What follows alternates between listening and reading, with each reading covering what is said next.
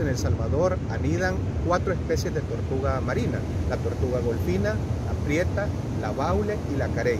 Desde hace más de 45 años, pobladores de la playa de la Barra de Santiago desarrollan proyectos de conservación de tortugas marinas, lo cual ha significado que sea una de las zonas costeras con más neonatos de tortugas liberadas cada año, además contribuyendo a disminuir la comercialización de huevos en el mercado negro.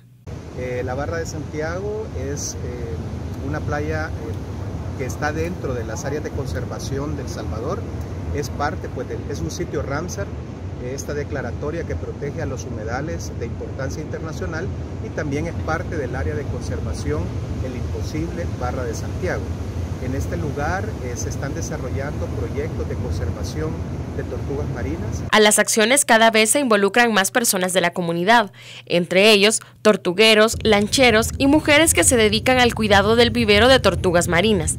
Estas últimas han conformado la Asociación de Mujeres de Barra de Santiago, ambas. Sé que mi trabajo es ¿verdad? de estar recibiendo el huevo todas las noches, ya de recibirlo a enterrarlo ¿verdad? allí al vivero sé que nosotros lo que vamos viendo es que la producción no se pierda, ¿verdad? Y que siga la especie, El director ejecutivo de FIAES indicó la importancia de que en El Salvador exista una veda de tortugas marinas. En El Salvador existe una veda total y permanente desde el año 2007 a la tenencia, consumo, comercialización, de todos los productos y subproductos de las cuatro especies de tortugas marinas. Con imágenes de Marielos Román, este es un informe para la.